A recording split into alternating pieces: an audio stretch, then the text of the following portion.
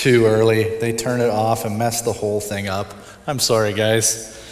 Uh, as I get started this morning, it's my pleasure to announce the marriage between Christian Edward Bernard of Cambridge, Ontario, and Jamie Lee Madison McLeod of Cambridge, Ontario. The wedding is to take place, Lord willing, next Sunday, August 15th, in Cambridge.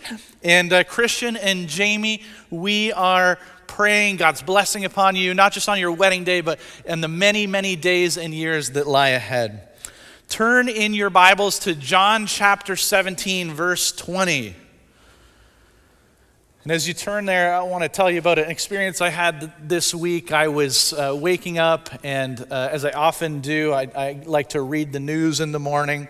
I was reading through the headlines, and I came upon the following headline Ontario landlord files eviction notice over tenants' vaccinated guests. Now, that should probably be a startling headline to me, but I'm just going to be like totally honest with you. I have read so many headlines about people not inviting people to their weddings and workplaces not allowing people into their workplaces. Uh, I, I kind of just glanced over it. I think mostly because I read it as Ontario landlord files eviction notice over tenants' unvaccinated guests. I am daily stunned by the level of division that I see in our community, country, culture, and churches. And the issue of vaccinations is just the latest wedge that has arisen over the last 18 months. According to Pew Research in 2020, before any of us had heard the word COVID before, 66% of Canadians polled described the country as unified. Now, that means there were already a 34% group of people that thought that this country was disunified, divided. But in just the last 18 months, we have added all of the following to this, to this division that we were already experiencing. How serious is COVID? How should we respond to contain it? Do we have too many restrictions, too few restrictions? Should we wear masks? Should we not wear masks? Should there be lockdowns? Should there not be lockdowns? What's more important is, is the mental health of the younger generation more important, or is the physical well being of older generations more important? Should we be concerned about public liberty or personal liberty or public health? Like, where should we place the balance? And so you would not be surprised to know that that 66% of people who thought that Canada was fairly unified before COVID hit turned to 61% in June of 2021 who now des- describe the country as divided. Because we can, we can add those items to all of the items that were already in place, right? They, they're added to items around divisions around wealth, education, generation, race, gender, politics, religion, rural, urban, French, English, and on and on and on. And friends, those are not just divisions that are happening out there. They're divisions that are happening in here. And it is into this backdrop of division and discord that Jesus prays a prayer that drops like a bomb. And let me give you the context of this prayer because I think the context matters here for us to understand the magnitude of what Jesus is about to pray. See, the context is the upper room discourse. The context is the last hours that Jesus has here on this earth. And the context is that Jesus knows that these are the last hours that he's going to have on this earth. In fact, we start this whole discourse in John 13, 1 with Jesus with reading John saying that Jesus knew that his hour had come to depart this world to the Father. And so he is in this room spending time with his friends and closest followers, and he has washed their feet, and he has ate with them and he has spoken final instructions to them and he has tried to tell them what to expect, not only in the hours to come, but in the days and years that will follow. And then he begins to pray. First, he prays for the disciples, his friends who are in there in the room with him. But then, beginning in verse 20, he expands the group that he is praying for far beyond those who are already present with him. And he prays this prayer I do not ask for these only, but also for those who will believe in me through their word. That they may all be one, just as you, Father, are in me and I in you, that they also may be in us, so that the world may believe that you have sent me. The glory that you have given me, I have given to them, that they may be one, even as we are one. I and them and you and me, that, we, that they may become perfectly one, so that the world may know that you have sent me and loved them, even as you have loved me. I, I, I started reading this passage as I prepped for this message, and I, it was just like, oh my goodness, there is so much to unpack in these three verses. The, the depth and magnitude of what Jesus is praying here is, is stunning. The implications are so huge. But first, I want to look at this reality that of all of the things that in that moment, as Jesus was facing his own death, he could have prayed for, he prays this that they may be one. And there can be no doubt when we read Jesus' prayer that this is true, that the unity of the church matters deeply to Jesus. Again, Jesus is very much aware of what is ahead of him. He knows what's coming. He's, he's aware of how short the time is that he has left and, and what is waiting for him. But he stops to pray. He says, Father, unite them, make them one. And do you notice who he's praying for? As I said, he's, he's not just praying for the disciples in the room. It would be totally understandable if this was just Jesus' prayer for those men in that room. I mean, these are his closest friends. He has spent the last two and a half, three years every hour with these men. And, and they've already been bickering and fighting, right? They've already been fighting over who's going to get what position in Jesus' kingdom, who's the greatest. they they've, they've just in the last few moments been fighting about who would actually betray Jesus and who would stay loyal to him until the end. But he doesn't just pray for them. It says, I don't ask for these only, but also for those who will believe in me through their word. See, this prayer that Jesus is praying is for us, it's for our unity. If you are a Christian, if you are a follower and disciple of Jesus, in that moment, as Jesus faced the cross, he was concerned about you. And you and you and you and you, the person beside you and the person in front of you and the person behind you and me. Forward, as, as Jesus was facing the cross, he stopped to pray for us. That's incredible.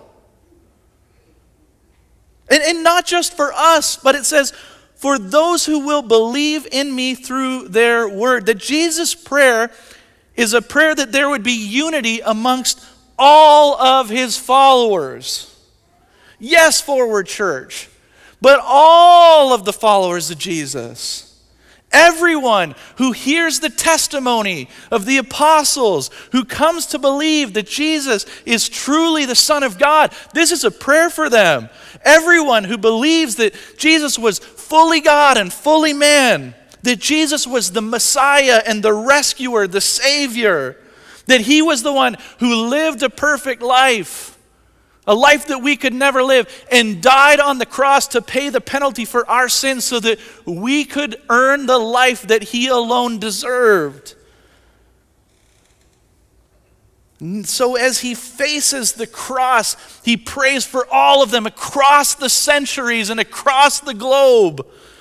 And he prays that they may all be one, just as you, Father, are in me and I in you. So, like, if your mind wasn't blown enough that Jesus was praying for you 2,000 years ago as he faced the cross, just listen to those words again. That they may all be one, just as you, Father, are in me and I in you. See, Jesus' prayer is that our unity with one another would actually reflect the unity of God, the unity of the Trinity. That's huge. Like Jesus and the Father are literally one. That's the Trinity that we have one God in three persons, eternally coexisting in perfect relationship, the same nature, the same attributes, worthy of the same worship and obedience. That, that whole idea of the Trinity, that's amongst the most mind stretching, mind blowing, difficult to understand, mysterious realities in the universe, right? Our heads can't comprehend it. I had somebody try and ask me to explain the Trinity to them this week, and I, I did my level best.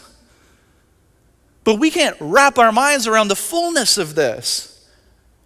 It took the church like 400 years to figure out how they were even going to word this the intimacy and the togetherness and the oneness of Jesus and God the Father is what Jesus desires for his church. He wants us to experience that. And, and, and, it's important to understand that Jesus, Jesus is praying here for our unity, not our uniformity. Because Jesus, God the Son, and God the Father are one they're one person, but they're distinct. They're distinct. And so, this is not a call for all of us to look exactly the same, to be exactly the same, to, to have the same personalities, and thankfully for all of you, the same haircut. Because I can't grow a head of full hair, and I know that many of you, listen, if no one's ever told you, you can't pull off bald. But God gives us this uniqueness. We all have unique personalities and giftings and spheres of influence and backgrounds and life experiences and, and roles to play. And so the church should be this wonderfully diverse place made up of all generations and races and ethnicities and socioeconomic realities. And what's interesting is that those differences, which can be in so many other areas, reasons to divide, when, when they're understood and where they're embraced correctly, they actually, instead of causing division, bring us together. If you want an example of that, Paul talks about this whole idea of spiritual gifting. And he talks about how, how everybody who is in Christ has been given a spiritual gift, but those gifts are unique. And there's no single person who has all the giftings. But when we come together, we collectively become the body of Christ and display Christ in a way that we can't do it on our own. So, so I want to ask you this question. When we think about the unity that Jesus is praying for, how are we doing on a scale of 1 to 10? And let me give you some questions that might help to bring a little honesty to your answering. Do you feel a greater kinship with people who have made Jesus their Lord and Savior, or with people who think the same thing that you do about a virus you didn't know existed two years ago? Do you find it easier to love people who have the same skin color on the outside? or the same Holy Spirit living on the inside? Are you more comfortable with people who share the same politics with you or the same profession of Jesus as Lord with you? And I would encourage you, man, this is why we started in week one with Search Me.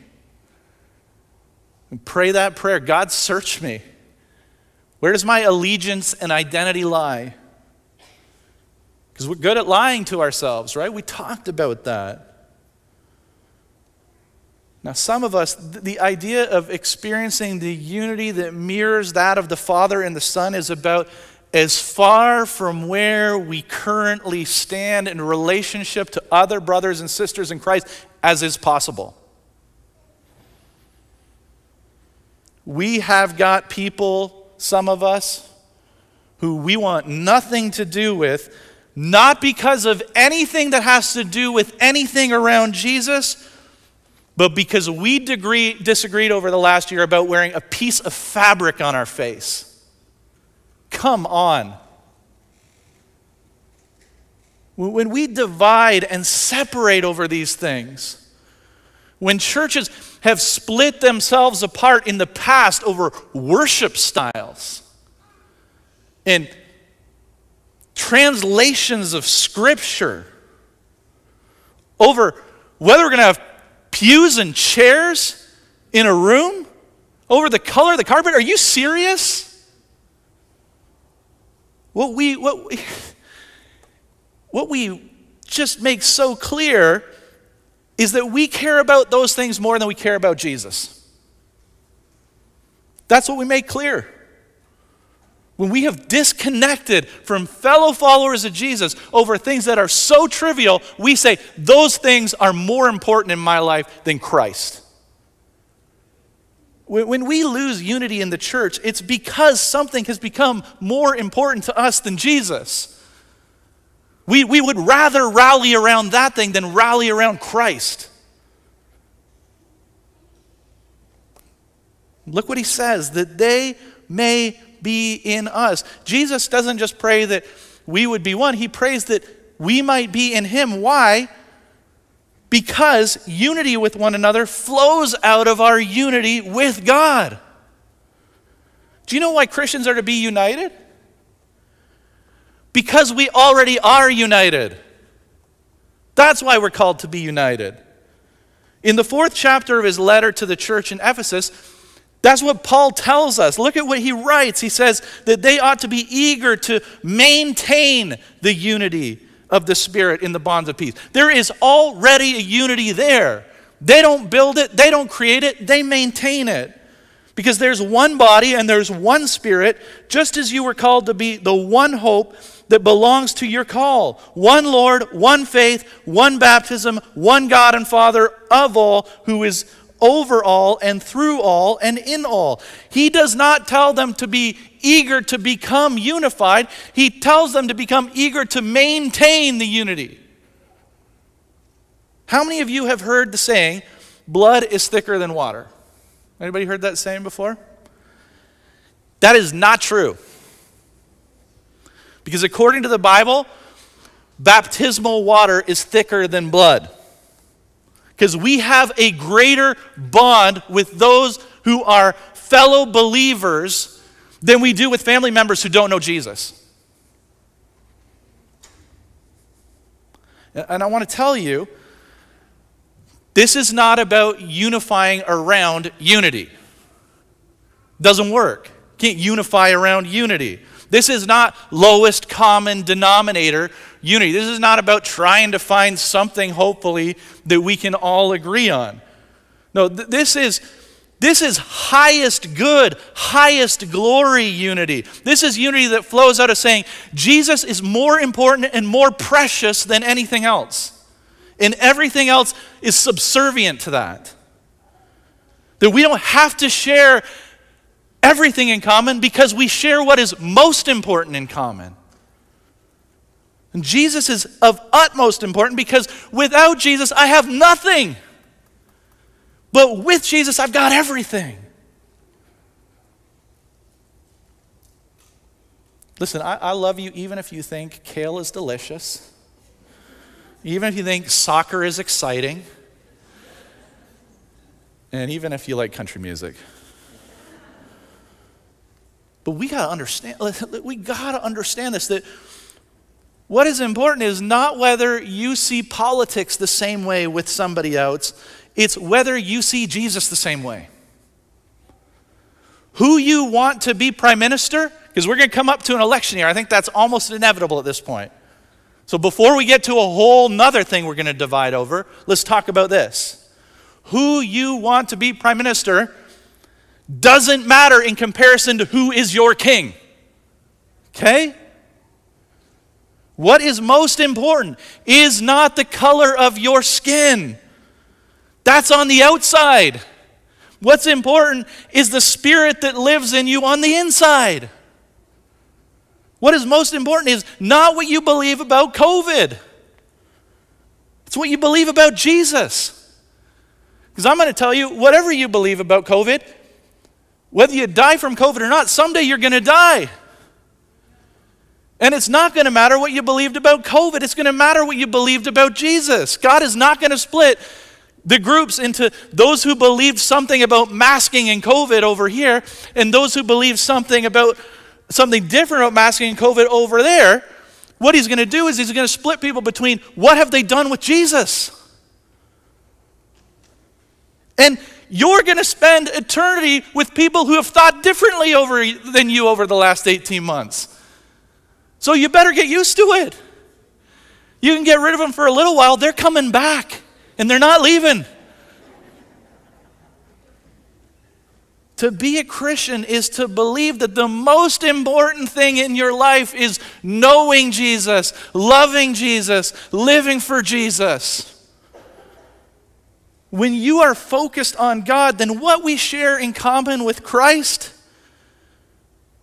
that allows us to to disagree, right? This is an unbelievable thing. Like when we're, when we're focused on who Jesus is and who, who Christ is, we actually have this foundation upon which we have this solid rock that we can disagree about all sorts of other things. And we can do so lovingly because what we share in common is so much more important than the things that we differ on. When we understand that our unity is blood bought and spirit given, we can keep the main thing the main thing. So when we get our eyes off of that, that we get all messed up. And look what he says. Why is this so important? He says that we ought to do this so that the world may believe that you have sent me. That's why unity matters so much. The issue of unity, it's not just critical for your sake and critical for the sake of your relationships with others inside the church. It is critical for the sake of those who don't yet know Jesus. Jesus prays for our unity because it's essential to our witness. I will tell you, when the church divides, the world derides. The world laughs and the world mocks and they say, See, this whole thing is a sham. They're no different than us. When we attack other Christians, when we run other Christians down on social media, when we call people cowards because they've come to a different conviction on Scripture, of what Scripture teaches about what it means to submit to the government, when we call people unloving and uncaring because they've come to a different conviction on what it means to respond in obedience to Christ, The world says, see, just like us. In fact, we don't, we don't just look like the world, oftentimes we look worse than the world when we do it. Let me tell you, there was a conversation between a government official in the U.S. and the Nez Perce chief, Chief Joseph. And he wanted to know from Chief Joseph, why won't you allow the missionaries to come in and speak to your people? And here's what he said We do not want churches because they will teach us to quarrel about God. We do not want to learn that. We may quarrel with men sometimes about things on this earth, but we never quarrel about the Great Spirit. We do not want to learn that. How heartbreaking. You know, I think it's obvious right now, we all know this, that Christ is not physically present in the world right now. He's not visible, right? And I got to thinking, like, if you want to make, I watch a lot of superhero movies, so bear with me here. If you want to make somebody who has the power of invisibility become visible, how do you do that? Do you know what you do? You, you take something like, like flour or paint and you toss it, right? And then it gets on them and, and they show up. I know this from Scooby Doo. This was my first spot where I've taught this. The love in the church is the paint that makes Jesus visible to the world. Listen to what he says again. The glory that you have given me, I have given to them, that they may be one, even as we are one.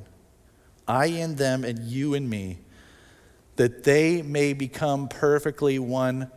Why? So that the world may know that you sent me and loved them even as you loved me. Here's the reality our unity and love for one another is the apologetic that changes the world. Some I us spend a lot of time learning about apologetics and learning how to answer people's questions on all sorts of things. And I love apologetics. It's great and it's good. But we don't figure this apologetic out, you can throw the rest out the window. Forward, if we are serious, and I mean serious, about seeing the world changed and seeing the name of Jesus raised high and seeing many people come to know Christ, then make us one will be our prayer. Before you do that, I, w- I want to let you know like, we called this dangerous prayers for a reason. This prayer is dangerous. Praying for unity is dangerous. Why? Because it takes work. He says that they may become perfectly one. Okay, we don't start there, right? Take some work on our behalf. Unity, yes, it's, something that we have. It's something that is in Christ immediately. There's this spiritual reality, but there's some work that has to go in for us to experience it in this world. There is something that takes some, not, not building, not acquiring, but maintaining. We got to work at the maintaining. And it means constantly thinking and remembering that I can't just think about me anymore. I got to think about we. I got to give up a little bit of my autonomy for the greater good of the body of Christ. It means thinking before I speak and type. And if you can't think before you type, then some of you need to get rid of Facebook. You need to get rid of Twitter. Get rid of Instagram. Do you love those things more than you love Jesus? Because Jesus loves the unity of his church. It, it means forgiving, right? Like, listen, there's some conversations that need to take place between some brothers and sisters in Christ. There's some discussion, there's some phone calls that need to happen today where we go and ask for forgiveness and grant forgiveness. That's hard work, but if we're serious when we pray, make us one, that's what Jesus is going to ask us to do. It means fighting against the stream of culture and continuing to think through a biblical lens where Jesus is at the center. So we keep on pointing towards that, so we point towards one another.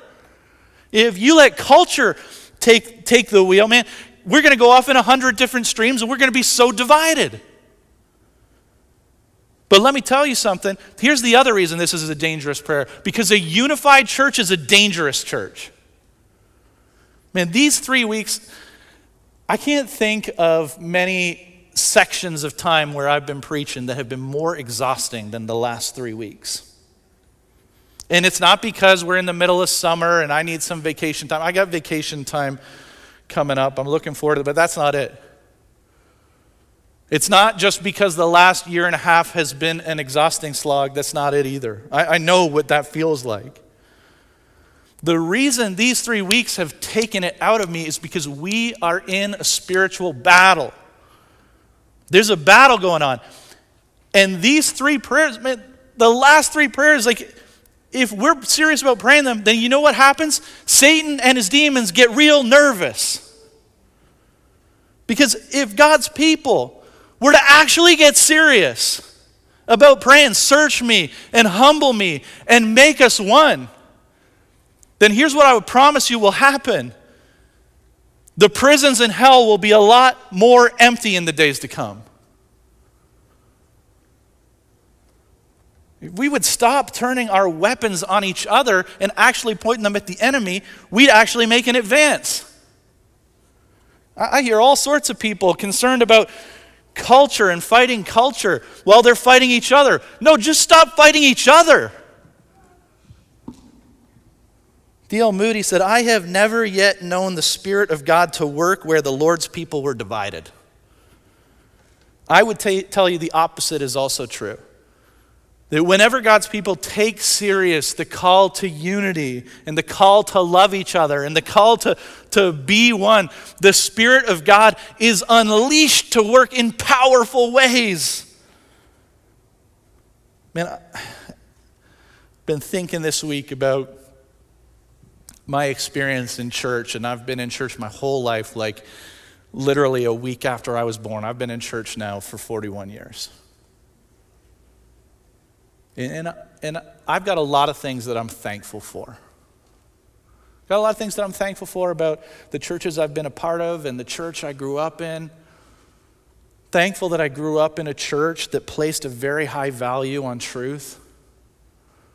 I'm, I'm thankful that I've spent my life serving so far in a denomination that takes truth seriously and holds tightly to the truths of Scripture and God's Word.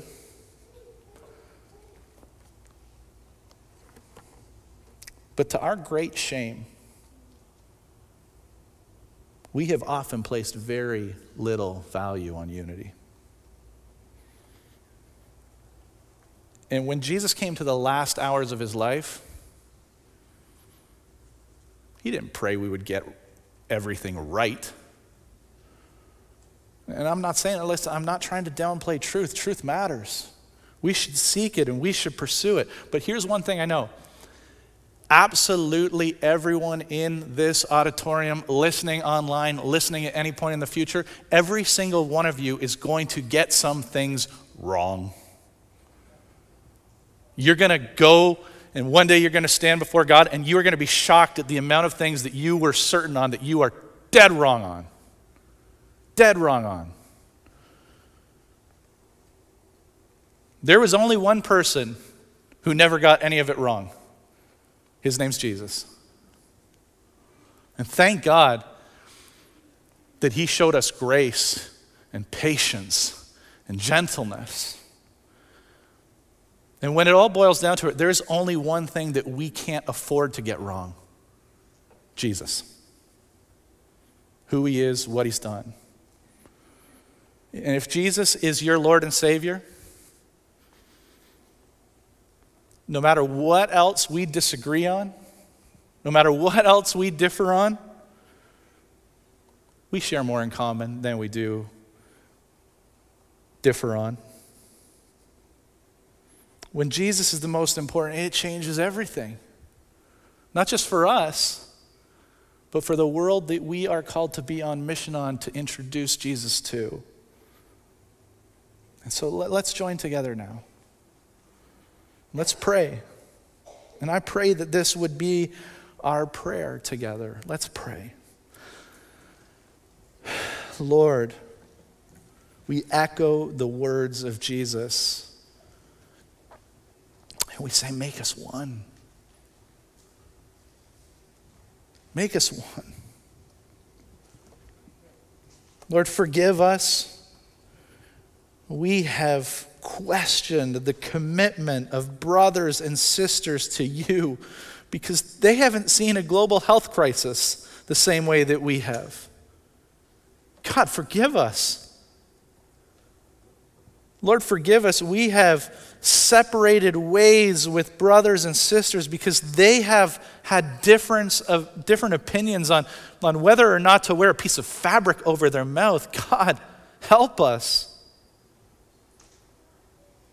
Father, forgive us because we have placed wealth and status, ethnic background, political affiliation as greater sources of identity and greater prizes in our life than Jesus.